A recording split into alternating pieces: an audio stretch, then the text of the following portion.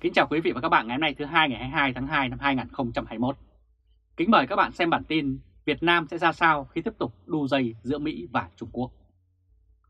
Báo cáo của cơ quan nghiên cứu Quốc hội Mỹ được phổ biến vào ngày 16 tháng 2 năm 2021 đề cập đến các lĩnh vực bao gồm thể chế chính trị của Việt Nam và vấn đề nhân sự lãnh đạo vừa được bầu chọn trong Đại hội Đảng lần thứ 13 của Đảng Cộng sản Việt Nam và đối phó với đại dịch viêm phổi Vũ Hán tại Việt Nam. Hoa Kỳ cũng viện trợ cho Việt Nam, cũng như mối quan tâm của Việt Nam và Trung Quốc vào vấn đề căng thẳng trên Biển Đông, kinh tế và thương mại và vấn đề nhân quyền tại Việt Nam. Theo báo cáo, Hoa Kỳ hiện nay là đối tác thương mại lớn thứ hai của Việt Nam sau Trung Quốc và Việt Nam là đối tác thương mại lớn thứ 10 của Mỹ.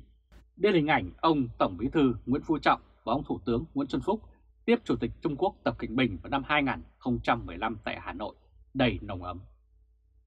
Kể từ năm 2010 cho đến nay, hai nước đã thiết lập mối quan hệ đối tác về kinh tế và an ninh khu vực.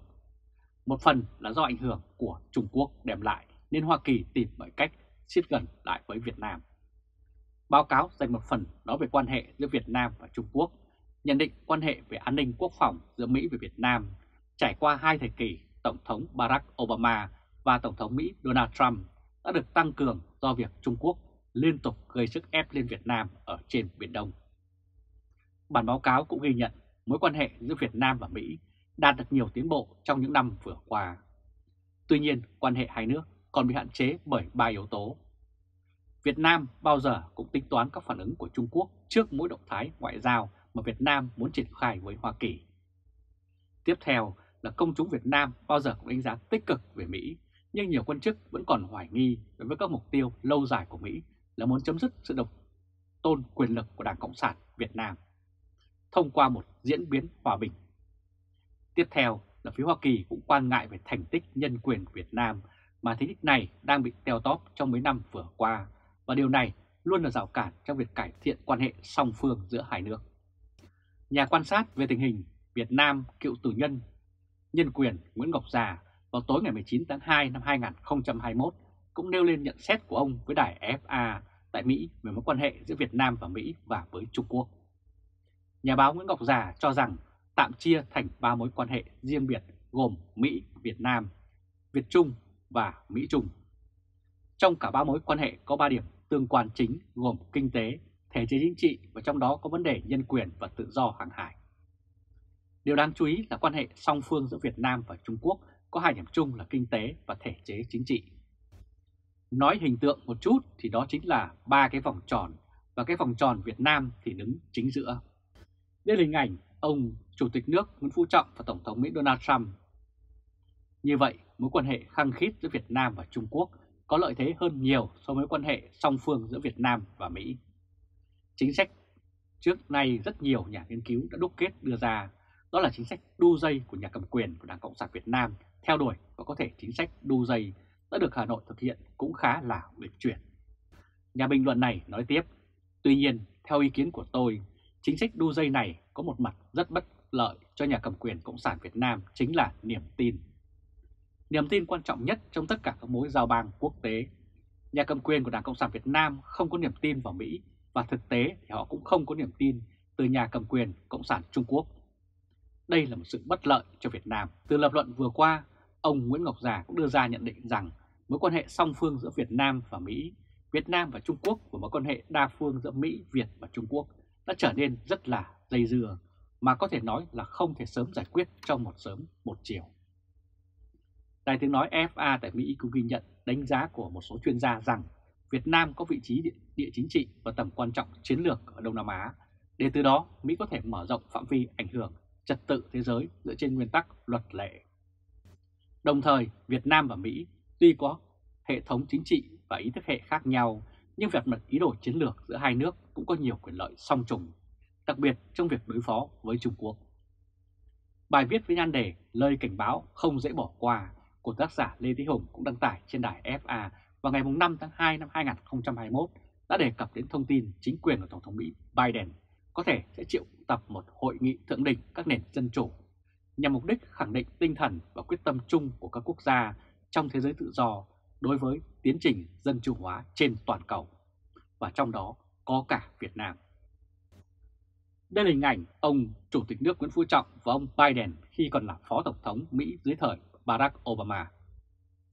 Tác giả Lê Thế Hùng cũng nhận định qua đó cho thấy một thông điệp của chính quyền Tổng thống Mỹ Biden rằng Hoa Kỳ có thể sẽ hợp tác ít hơn với các quốc gia độc tài, toàn trị trong khi tăng cường hợp tác đối tác dân chủ, nhân quyền,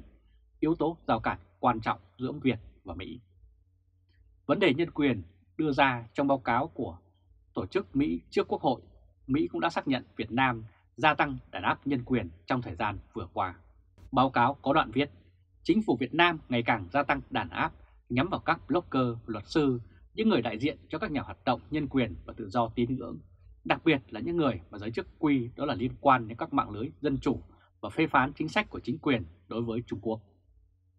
Theo đánh giá của các báo cáo, mặc dù Mỹ và Việt Nam vẫn tổ chức các đối thoại về nhân quyền hàng năm, nhưng chính quyền của Tổng thống Mỹ Donald Trump không đặt nhân quyền làm ưu tiên hàng đầu trong quan hệ hai nước. Nhà báo Nguyễn Ngọc Già nhấn mạnh với đài FA rằng vấn đề nhân quyền được chính phủ Hoa Kỳ chú trọng trong chính sách ngoại giao kể từ khi thiết lập mối bang giao với Việt Nam suốt 25 năm qua, và quan điểm về vấn đề nhân quyền giữa Việt Nam với Hoa Kỳ còn nhiều khác biệt, nên cũng không thể cho rằng chính quyền Donald Trump đã không can thiệp vào vấn đề nhân quyền của Việt Nam. Nếu nói một cách khách quan thì vấn đề nhân quyền là vấn đề toàn cầu. Tuy nhiên, về vấn đề nhân quyền gắn với vấn đề giao bang quốc tế và vấn đề này được xác lập từ rất lâu, có nghĩa là quan hệ giữa hai quốc gia luôn phải là bình đẳng và không can thiệp vào công việc nội bộ của nhau. Đây là hình ảnh tù nhân lương tâm Trần Huỳnh Di Thức mới đây đã tuyệt thực 70 ngày để yêu cầu chính quyền Đảng Cộng sản Việt Nam phản hồi đơn khiếu nại của ông theo tin từ gia đình. Thứ hai nữa, chính sách của tân Tổng thống Biden. Vừa rồi, ông cũng nói rằng sẽ thực hiện chính sách kiên nhẫn chiến lược đối với Trung Quốc mà thực tế trong hàng chục năm qua đối với các nhà độc tài, độc đảng, toàn trị Tập Cảnh Bình hay rất nhiều lãnh đạo của Đảng Cộng sản Việt Nam thì vấn đề nhân quyền đối với họ không có giá trị gì. Nhà bình luận này nói tiếp, vì vậy tôi không trông chờ và tôi không nhìn thấy tình hình được sáng sủa hơn trong tương lai cũng như trong 4 năm trước mặt Nhà quan sát tình hình Việt Nam, luật sư Vũ Đức Khanh cũng trong một cuộc phỏng vấn với đài FA vào hồi cuối tháng 1 cũng nhận định rằng tân Ngoại trưởng Hoa Kỳ Antony Blinken sẽ có rất mạnh mẽ hơn với chính quyền Việt Nam về vấn đề nhân quyền. Còn nhà báo độc lập Võ Văn Tạo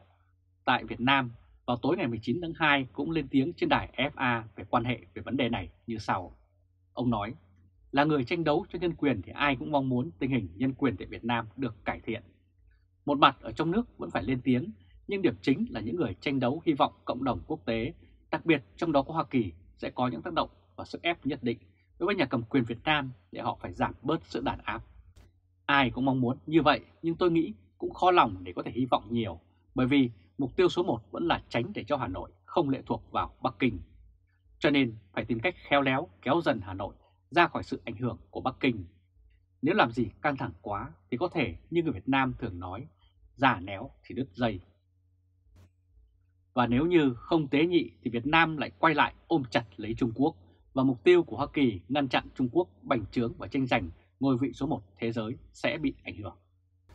Đây là hình ảnh mới năm ngoái Việt Nam đã phải bồi thường cho hơn 1 tỷ đô la để khi giàn khoan Repsol phải rời khỏi Biển Đông dưới sức ép của Trung Quốc.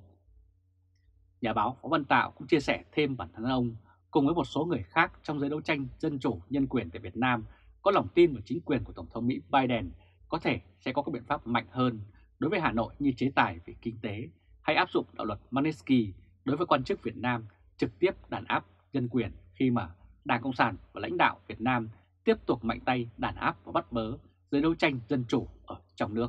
Mặc dù vậy, nhà báo Võ Văn Tạo cũng khẳng định vì yếu tố Trung Quốc mà tôi không hy vọng nhiều lắm và tình hình nhân quyền sẽ được cải thiện trong thời gian ông Biden làm Tổng thống.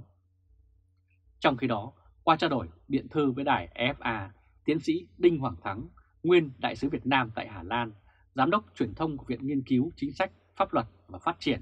thì lại lập luận rằng quan hệ giữa Việt Nam và Mỹ có khăng khít hơn hay không không chỉ phụ thuộc vào nỗ lực song phương. Bởi vì việc đó chỉ có một nhánh, một phần trong quan hệ tổng quát gọi là trật tự mới ở khu vực cũng như trên toàn cầu. Nếu trật tự ấy tiếp tục xấu đi, thậm chí tan vỡ, thì cũng chẳng có bang giao song phương nào được cải thiện, nói chi là khăng khít. Tiến sĩ Đinh Hoàng Thắng cũng chỉ ra rằng các nước châu Âu đang rất quan tâm đến châu Á, dẫn đầu là Pháp, Đức và Anh Quốc đang có những động thái ngoại giao tích cực hỗ trợ Mỹ và Bộ Tứ trong việc định hình và thúc đẩy không gian Ấn Độ Dương tự do và rộng mở.